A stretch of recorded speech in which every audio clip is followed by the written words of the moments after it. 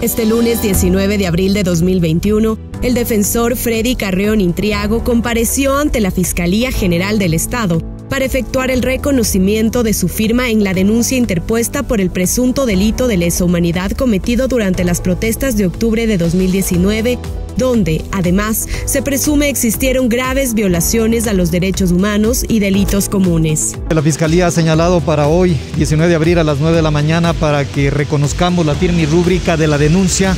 que por delitos, por indicios de delitos de lesa humanidad se interpuso contra el presidente de la República y estamos para cumplir con esa diligencia. En este punto, al existir un delito de lesa humanidad o indicios de delito de lesa humanidad, la denuncia es directamente contra el presidente de la República, sus ministros de gobierno, su ministro de defensa,